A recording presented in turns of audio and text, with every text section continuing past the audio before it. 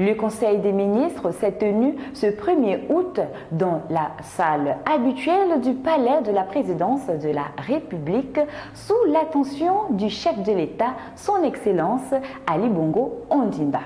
Assainissement du bassin de la vallée de Bessieux et du boulevard triomphal de Libreville sous la direction du ministre d'équipement, d'infrastructures et des travaux publics, Monsieur Arnaud Caliste Ngondi Alonji, accompagné du maire du deuxième arrondissement, Monsieur Albert Oyam. C'était ce jeudi.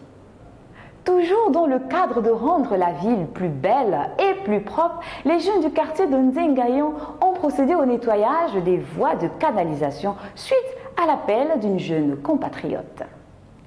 Festival Gaboma Jazz Rock à sa première édition à Libreville. C'est du 1er au 3 août. Ce festival va abriter des ateliers de formation, des ventes de produits culturels et services, mais aussi des concerts live. Merci de m'avoir suivi. Restez connectés sur Como Info pour la suite de nos programmes.